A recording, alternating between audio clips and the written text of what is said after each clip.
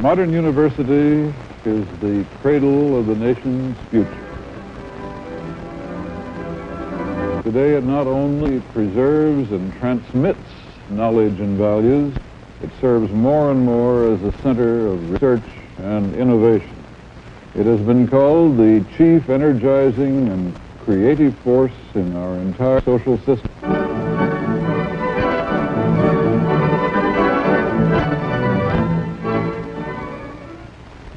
Modern university is the cradle of the nation's future.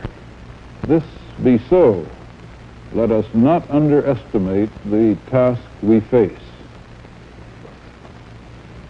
Meanwhile, the explosive growthage still increases the demands upon us.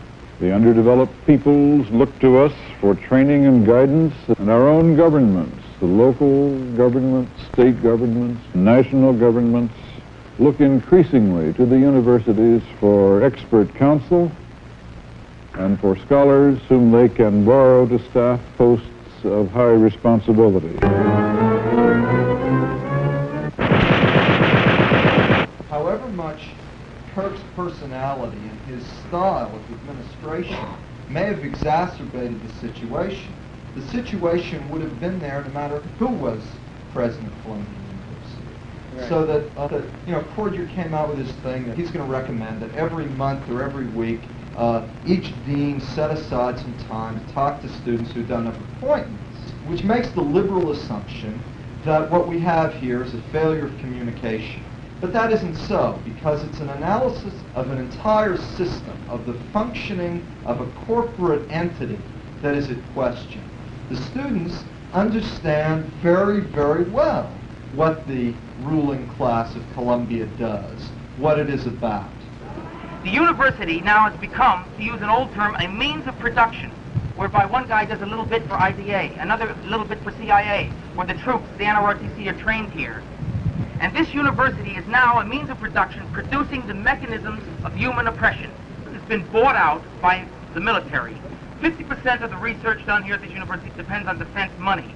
And we can see when we look at the new buildings that are going up that it's an engineering building, a business school, a law school, a school of international relations. We can tell how much this university is hooked into servicing the corporations and hooked into servicing the war machine. William Burden is a director for Lockheed Aircraft. Maurice Moore is the counsel for General Dynamics, the F-111 company, and a junior partner in his law firm was the Undersecretary of Defense. Kirk himself is uh, a trustee of the Institute for Defense Analysis. He is president of Morningside Heights Incorporated, the organization which is concerned with institutional expansion on Morningside Heights. Also, if you if you wonder how it was that Columbia uh, acquired the land for the gymnasium, a 400-year lease, renewable every five years after the first 100 years, at an incredibly low sum of money, all you have to do is look at who the trustees are. Percy Uris uh, is chairman of the board of the Uris Buildings Corporation, a corporation which has done 17% of all the building in New York City since the war. Benjamin Buttenwieser, one of the trustees, is on the Uris Building Corporation. Courtney C. Brown, who is also on the Uris Building Corporation, is one of the directors of the board of CBS. William S. Paley, a trustee, uh, is chairman of the board of the Columbia Broadcasting System. Uh, Arthur Hays Sulzberger, he's uh, chairman of the board of the New York Times. For two successive sessions of the state legislature, uh, Columbia's ruling elite uh, made journeys to Albany, New York to convince legislators that this was indeed a wonderful thing for the Morningside Heights community, that Columbia should uh, build its gym there. But I don't think a gym nine stories high with facilities for black people in the basement with a back door is something that black people want. There has never been any dispute as to the position of this community on the placing of a gymnasium by a private institution in a public park. I don't trust anybody in the administrative network of Columbia University because they have lied, they have contradicted themselves. Grayson Kirk wrote us a letter saying, we have stopped the gym. And the next damn day, the Board of Trustees states we have stopped the gym temporarily. This house went up on violence, and this country's going down on violence. As a house go up, our house must come down, whether you like it or not. On April 23rd, SDS called a demonstration in which we plan to demonstrate inside Low Library to protest Columbia's complicity with the Institute for Defense Analysis, its racism in building the gym in Morningside Park, and its attempted suppression of the left by disciplining six students. About 500 people joined, joined us at the Sundial. We were opposed by about 200 jocks. We found that not only were the jocks there blocking our way, but we found when we got to Low Library that the library was locked by the administration. I must have thought that would stop us, but it didn't. As we went into Harlem, we busted into the gym site.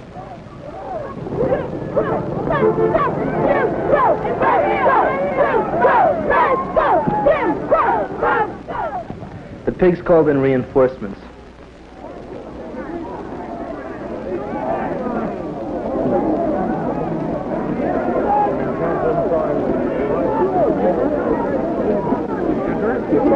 it's so to get hurt. Rachel, Next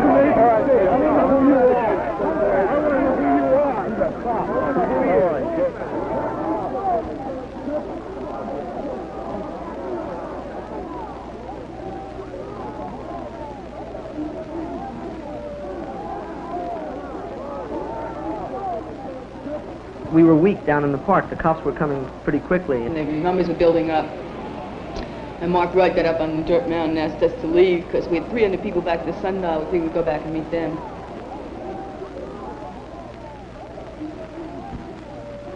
Taking Hamilton was and, and Coleman was just the perfect thing after that. Except it wasn't so perfect because, I don't know, at, at, that, at that point we were really we were moving faster than we uh, knew how. Tremendous snowball. Tremendous Yeah, I mean, morale. almost despite ourselves. It was something we really wanted to do. On the other hand, it was something that we weren't sure we were ready to do. It's our responsibility to use coercion. Well, you've used coercion, but we haven't we haven't completed.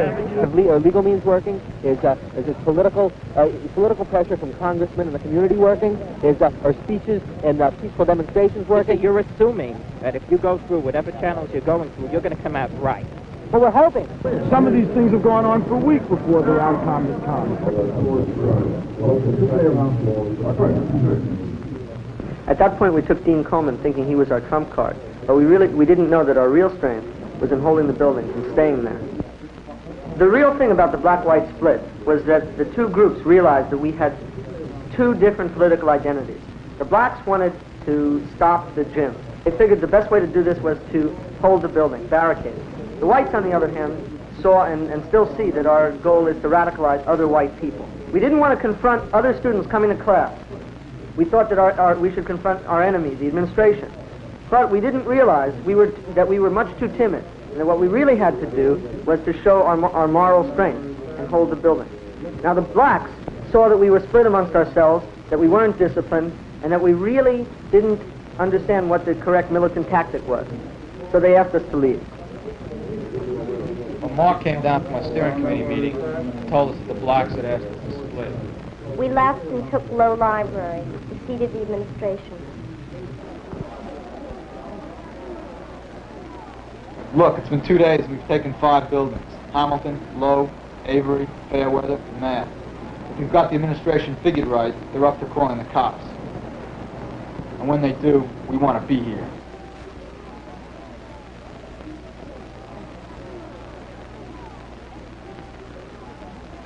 We barricaded up the basement, and the police were trying to come through. So what the brothers did was throw some uh, water hose, knocked the police back, that kind of thing, you know, and flooded the whole basement. Now that was one of the best tactics. The police were very angry about that. But then they still didn't charge the building, and, and they were pretending that they didn't even try to come through the tunnels into the basement of the building, but they were trying to like take the building by surprise, quietly, that kind of thing, you know, and, and beat the movement that way. You know, try to defeat it before it spread to the black community because I'm sure they weren't that worried about a handful of black students at Columbia University. It's when those kind of tactics and that kind of militancy get from the university and the brothers in the community say, look, Dick, these brothers up here who got it made are revolting too against the system. That's what they were trying to defeat, but they couldn't get through.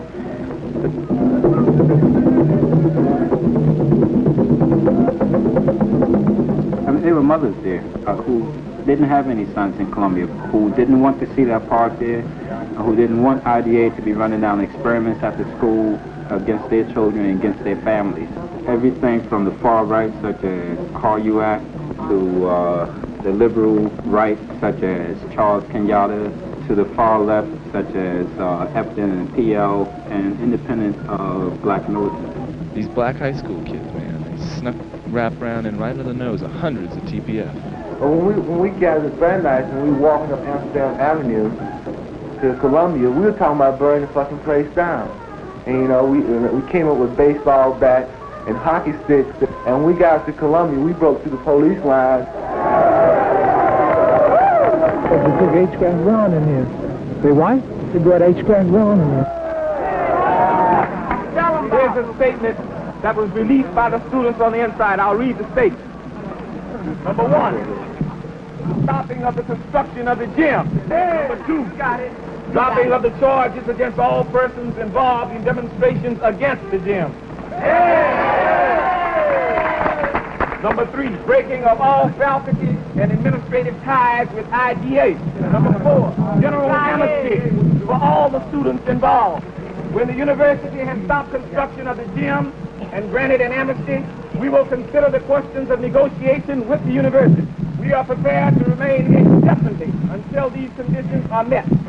The black students of Columbia University, joined by a few members of the black community, have been in Hamilton Hall for 56 hours, more than that now. We have established the cafeteria with adequate stores for all conti-. A physician is in charge of our infirmary. Morale is high.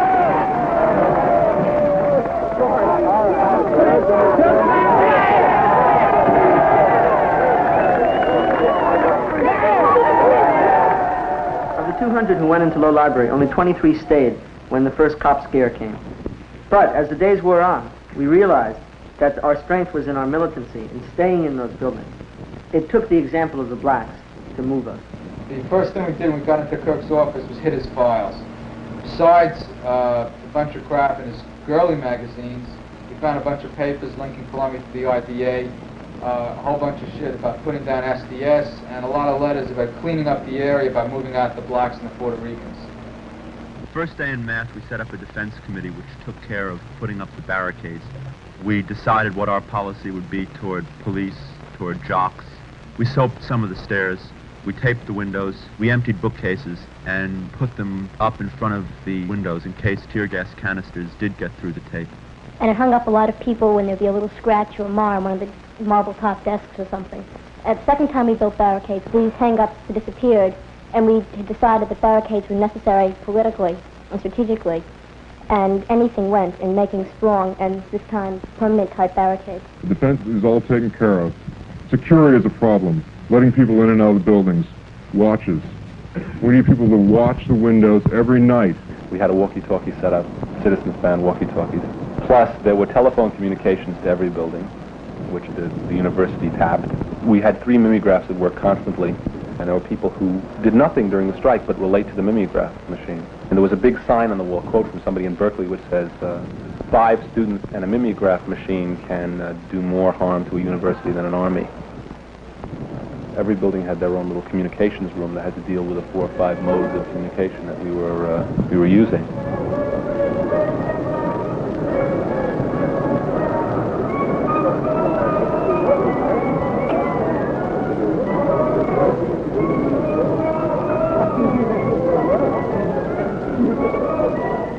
One of the things that would happen was that each new group of people who came in the building, each new day's recruitment uh, to the building, would uh, become political, would understand the life of the commune, would understand what was going on uh, by the meeting. The stable of commune life was the meeting that we'd meet for approximately eight hours a day. A lot of it was political education, a lot of it was just bullshit, a lot of it was worrying about what we'd do when the police came.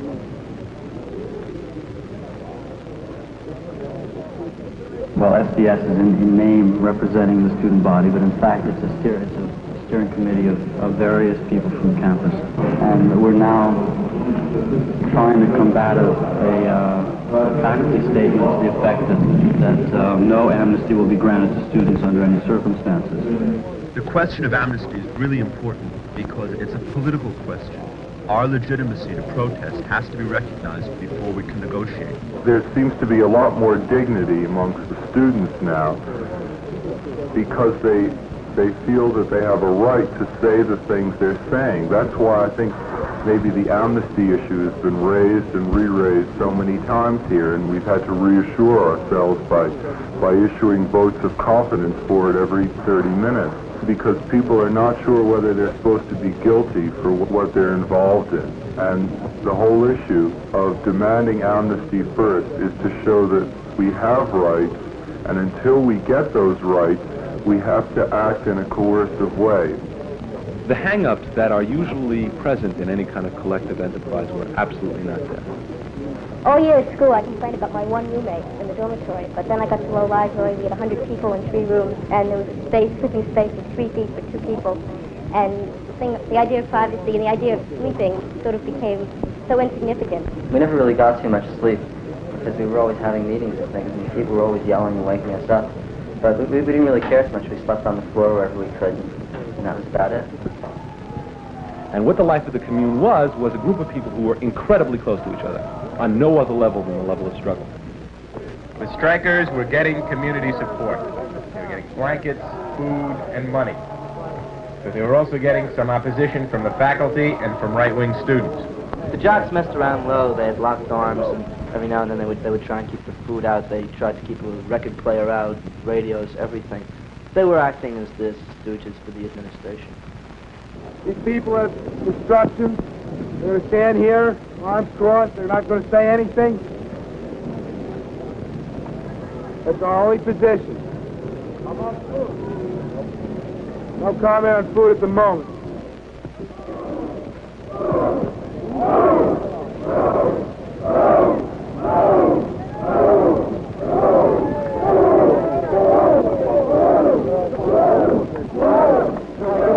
Get out of the way. That food is going up. There's nothing else to say. That food is going up. They ain't been eating. These motherfuckers have been eating. They have it. Of course they have. They got plenty of. They don't have any. They don't have any left. They called us up. You haven't been up there. Don't say anything. They don't have any food. These cops have been eating.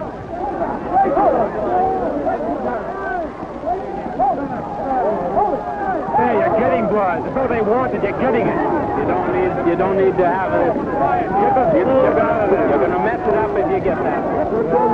Oh, they want food in there. That food is going up.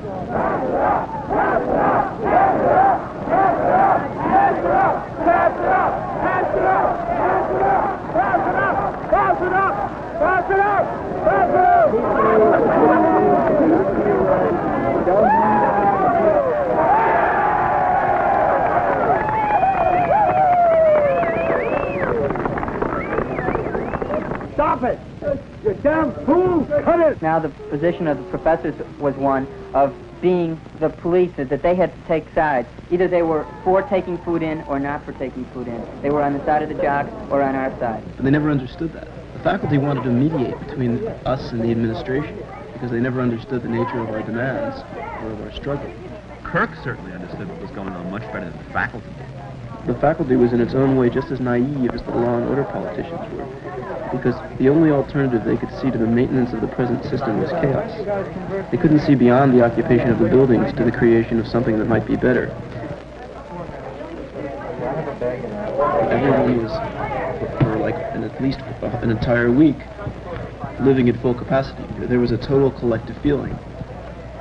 No one particularly cared about his individual feelings because he never even experienced them everything was experienced in the most collective sense that I've ever, I've ever known. If you talk to anyone outside, they immediately realized that, that there was something there that they, they had never seen before. That this was one of the um, new experiences for most of the people at the strike. It's sort of an electric awakening.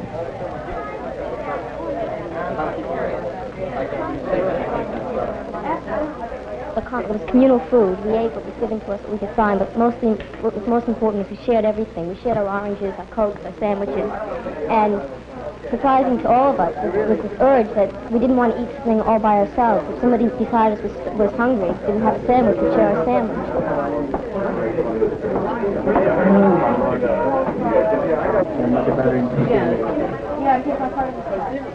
People are living here. They are living here between meetings, and, and uh, it's a home.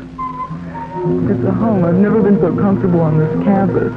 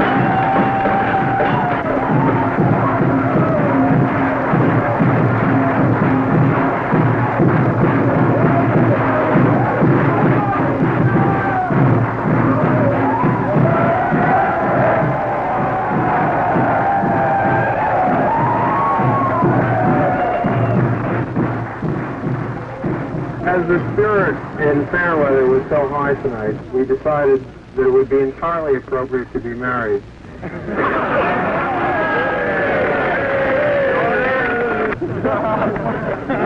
It was felt that Fayerweather was not only holy ground, but was our home.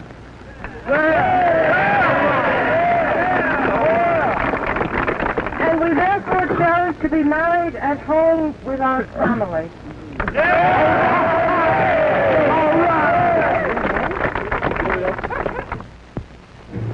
I, Andrea, take thee, Richard. I, Andrea, take thee, Richard. I, Richard, take thee, Andrea. I, Richard, take thee, Andrea. I now pronounce that Andrea and Richard are children of the new age. Thank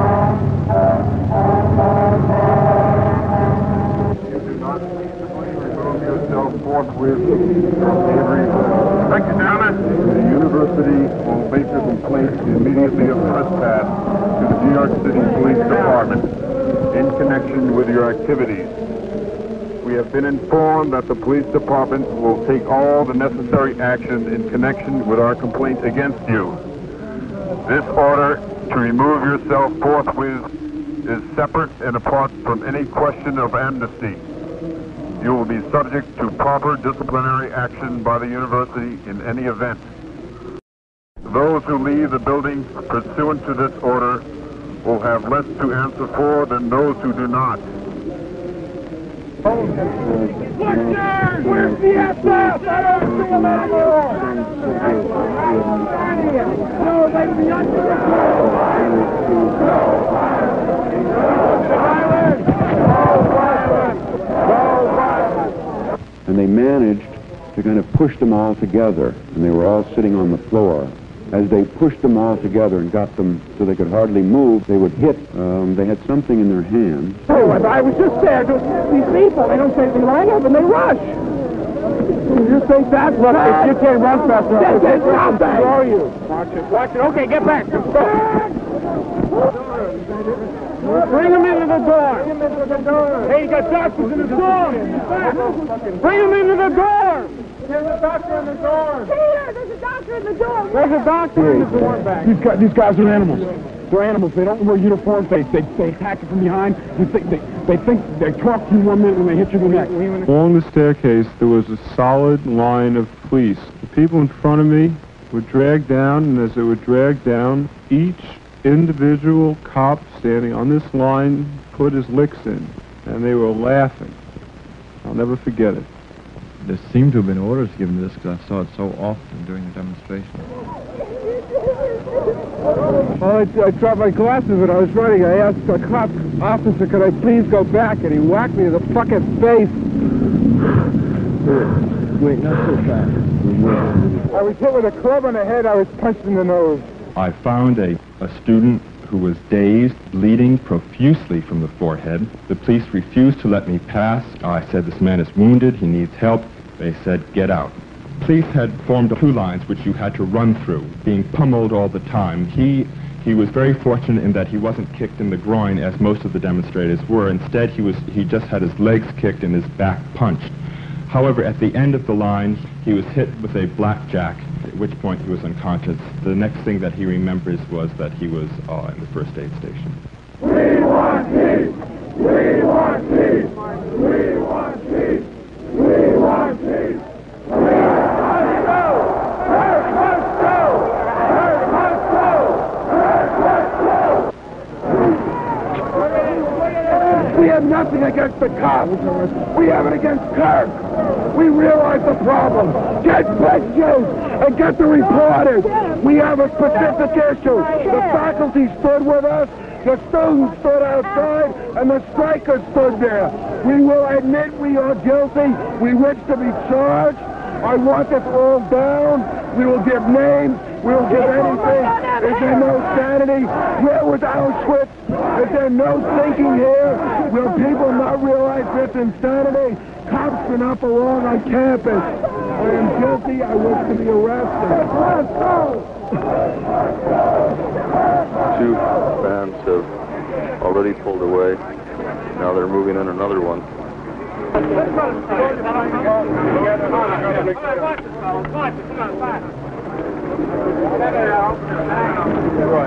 And I'm not going to read this many real I'd like to know what I'm arrested. They got over 700 of us on charges of criminal trespass, resisting arrest, all kinds of other shit, some of which was real and some of which was completely fake.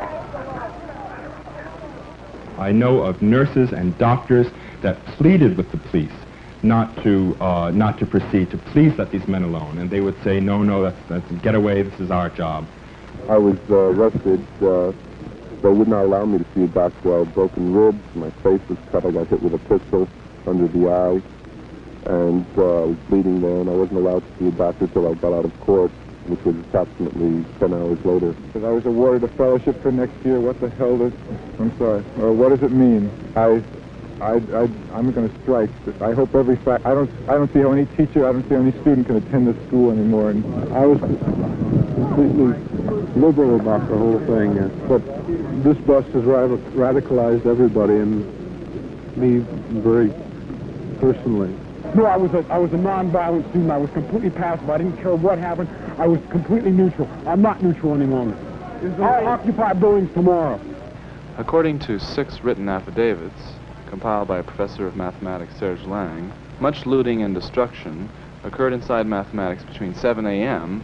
and 2 p.m. During these hours, the only people permitted inside the building were policemen, members of the press, and a very small group of building staff. When I got out of jail and got back to math, I looked around for my camera and my light meter that I left behind. All I found was a lot of exposed film, broken lenses. Who, who the fuck else would have done it but the cops? It's, it's interesting to note that Arthur Hays Sulzberger, one of the trustees, just happens to be the chairman of the board of the New York Times.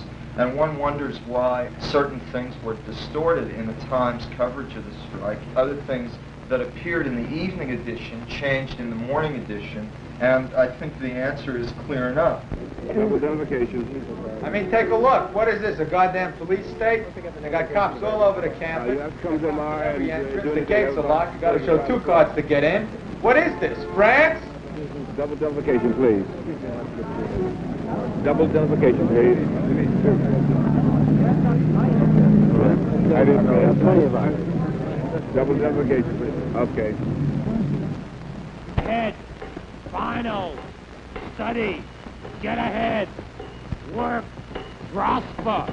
Get ahead. Grade. Final. Get ahead. Study. Get ahead. Jobs. Get ahead. Get ahead. Get ahead. Papers.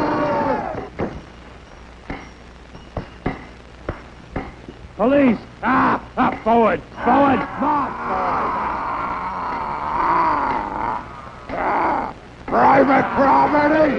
Private property! Private property! We shall not be moved as like a tree. No cops on We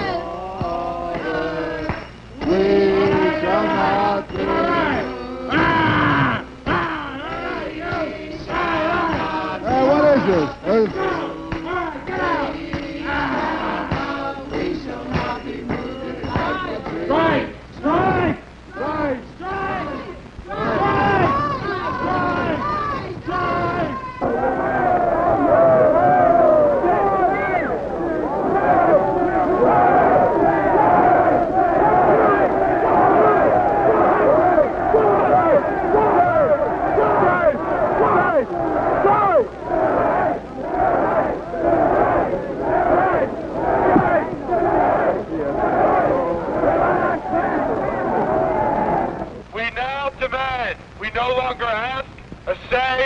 decisions that affect our lives.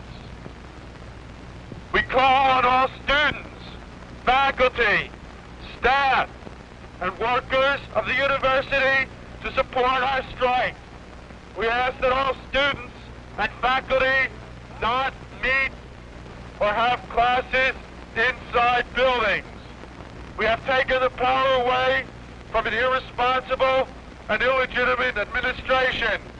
We have taken power away from a board of self-perpetuating businessmen who call themselves trustees of this university. We are demanding an end to the construction of the gymnasium, a gymnasium being built against the will of the people of the community of Harlem.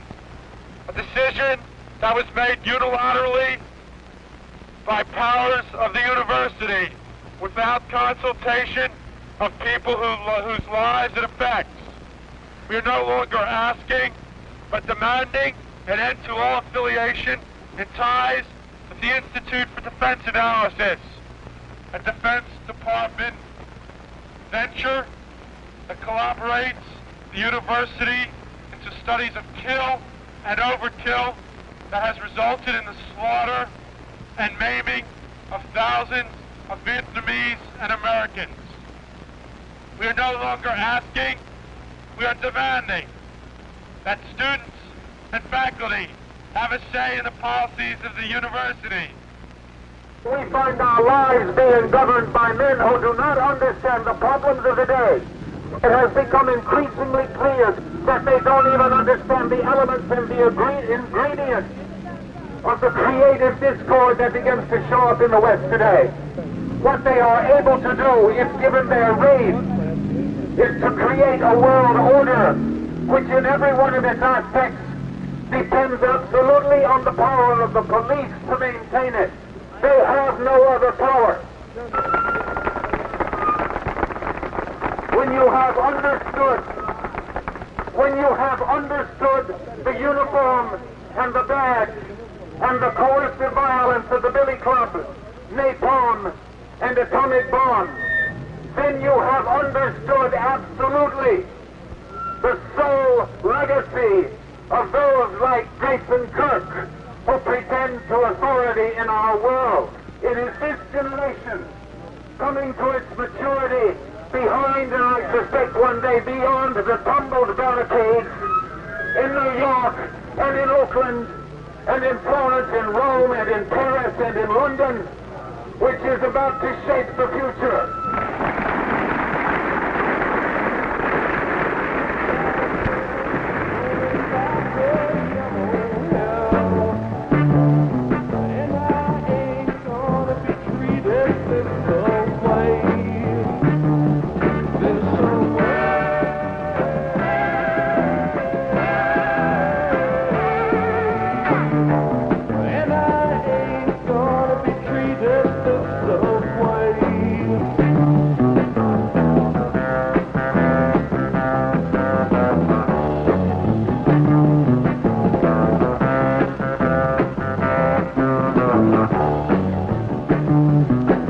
She went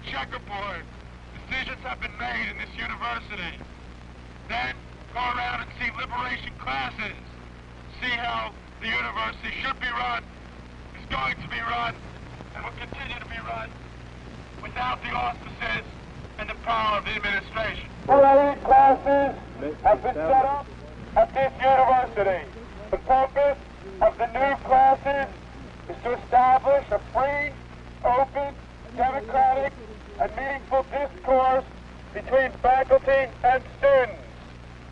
They've put an end to the old system and structure of Columbia University. Classes are being held on lawns, on campus, in Ferris Booth Hall, and in apartments of faculty outside of campus. Students were saying three major things. First, they were saying that they refused to be produced any longer, to be sent out into society as some kind of a managerial class. Second, they were saying to the faculty that they could no longer accept the paternalistic role that teachers traditionally play in the university. Learning takes place in dialogue and between equal men. They said, in effect, we will no longer let you play some kind of big daddy to us. Third, they were saying that the demands and actions had to be taken seriously, could not be dismissed with some kind of bullshit platitudes about youth and idealism, because they were involved in political action on the highest level of human seriousness. Tonight, there is a new liberated area in this neighborhood. We're going to support those 50 community members that have taken over a building. Presently in the building, there are 40 to 50 representatives of community groups, of political clubs, of organizations involved in the Morningside Renewal Council, organizations that have been fighting Columbia's expansion policies for years. This is not a student occupancy. Students right now are the vanguard, but it's the masses of people in the area in New York around Columbia that's finally going to stop Columbia. Well, it seem, I mean, sometimes there seems to be a kind of contradiction between support action and fighting your own particular kind of oppression, which is what we're always talking about. But in fact, what we came to see during the strike was Uh, that when you want to oppose uh, an institution of that sort, You have to do you've it got on all fight, fronts, You've right. got to fight on all fronts. Columbia has closed our streets, gobbled up our parkland, seized over 100 of our buildings, and forced the removal of over 8,000 people from their homes. Why is the Community Action Committee predominantly white? Of the 8,000 tenants of small hotels, SROs, and old law tenements whom Columbia has systematically displaced, only a specially selected token number of minority group families now reside in Morningside Heights. We've deplored this deliberate creation of a white ghetto.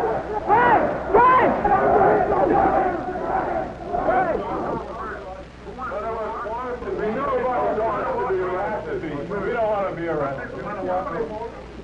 I'm under arrest. Right, so if you want to be arrested, I am. Okay, pick your own wagon. Pick your own wagon. Wish to be arrested, you may leave. You're free to leave. I don't want to be arrested. You want to be arrested? None of us want to be arrested. Go right down. Either go to the wagon or walk north. Riverside Drive if you don't want to be arrested. Riverside Drive with a wagon. Get out in front if you want to be arrested. Riverside Drive with a wagon. You want to have a decent life.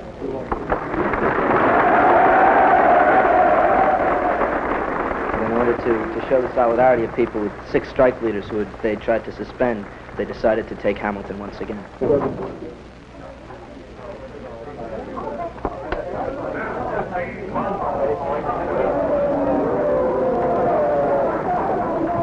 hereby directed clear out of this building. I will give you further instructions if this building is not cleared out within the next 10 minutes. Now, ask me how many of you here are willing now to stay with me, sit in here until... After three votes, the majority decided to stay. If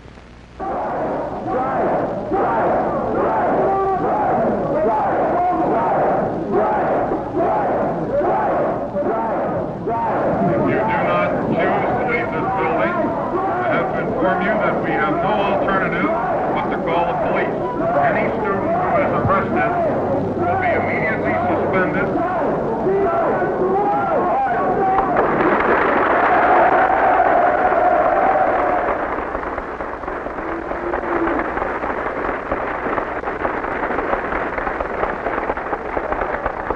A lot of the most militant people had left Hamilton because they didn't want to get busted a second time. But those were the people who formed the core of the stuff that was going around outside, building barricades and fighting the cops. A moving line of detectives into the crowd. The Crowd surrounded by the police.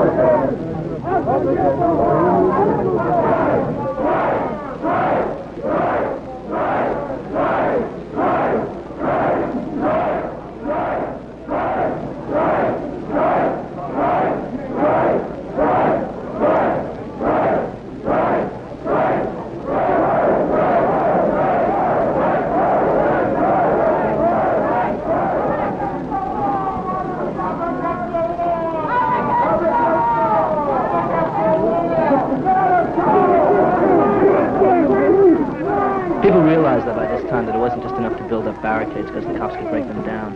So they engaged in combat with them. They threw lamps at them. They charged them with bricks. They built up barricades.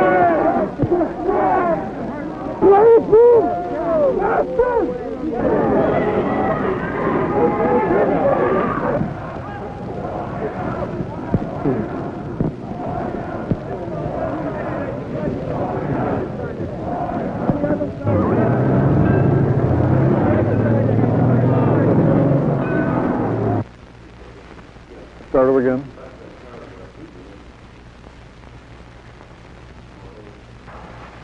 Take one. All right. Wait, I will give you Give it, give it to me again. with reverberation. Modern university is the cradle of the nation's future. It has been called the chief energizing and creative force in our entire social system.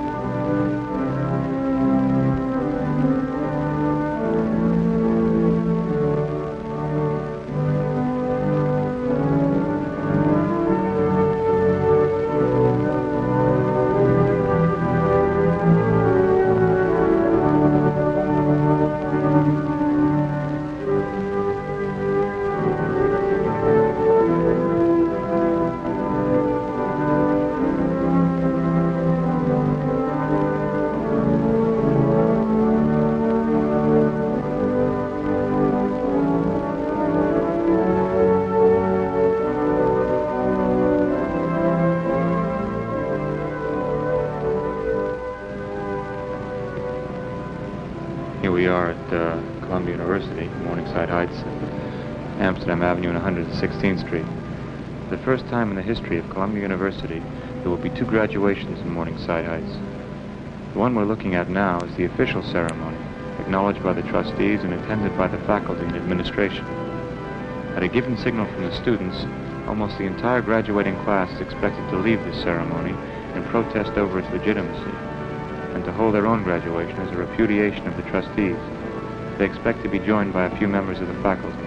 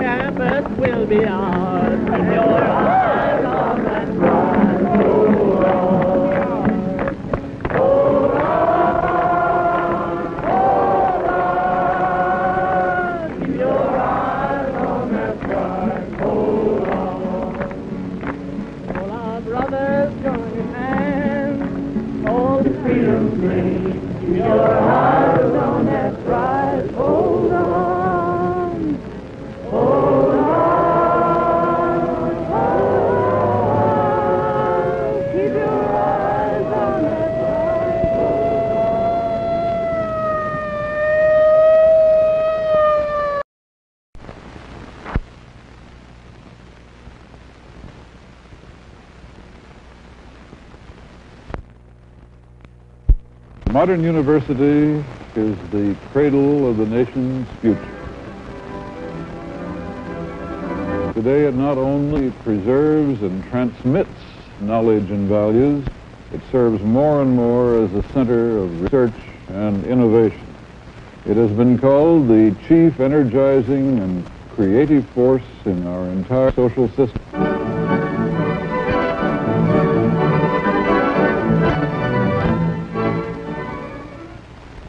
Modern university is the cradle of the nation's future. This be so, let us not underestimate the task we face. Meanwhile, the explosive growthage still increases the demands upon us. The underdeveloped peoples look to us for training and guidance, and our own governments, the local governments, state governments, national governments, look increasingly to the universities for expert counsel and for scholars whom they can borrow to staff posts of high responsibility. However much Kirk's personality and his style of administration may have exacerbated the situation, the situation would have been there no matter who was president of University. So that, uh, that, you know, cordial to Columbia University because they have lied, they have contradicted themselves. Grayson Kirk wrote us a letter saying, we have stopped the gym. And the next damn day, the Board of Trustees states, we have stopped the gym temporarily. This house went up on violence, and this country's going down on violence. As a house go up, our house must come down, whether you like it or not. On April 23rd, SDS called a demonstration in which we planned to demonstrate inside Low Library to protest Columbia's complicity with the Institute for Defense Analysis, its racism in building the gym in Morningside Park, and its attempted suppression of the left by disciplining six students. About 500 people joined, joined us at the Sundial. We were opposed by about 200 jocks. We found that not only were the jocks there blocking our way, but we found when we got to Low Library that library was locked by the administration. They must have thought that would stop us, but it didn't. As we went into Harlem, we busted into the gym site.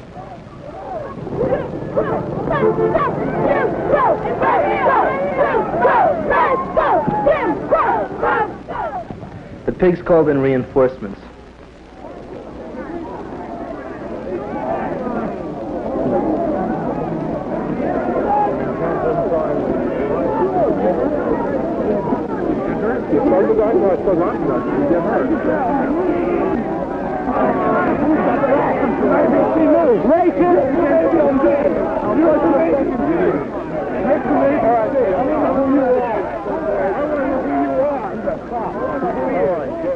Also, if you if you wonder how it was that Columbia uh, acquired the land for the gymnasium, a 400-year lease, renewable every five years after the first 100 years, at an incredibly low sum of money, all you have to do is look at who the trustees are.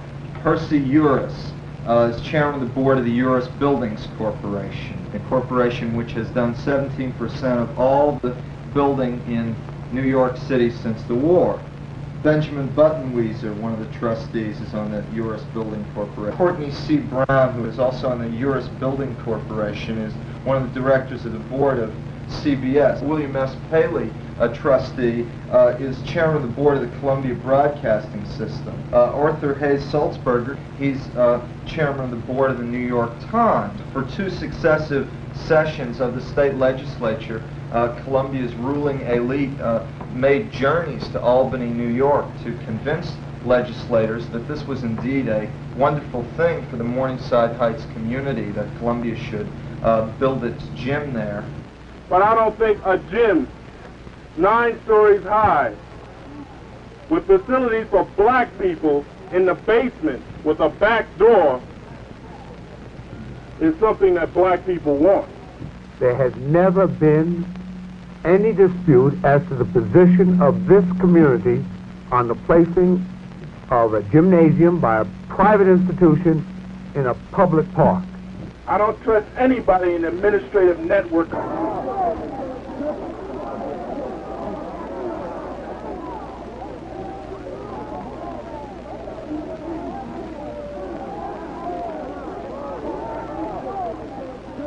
We were weak down in the park. The cops were coming pretty quickly. And the numbers were building up. And Mark Rudd got up on the dirt mound and asked us to leave because we had 300 people back at the sundial. We figured we'd go back and meet them.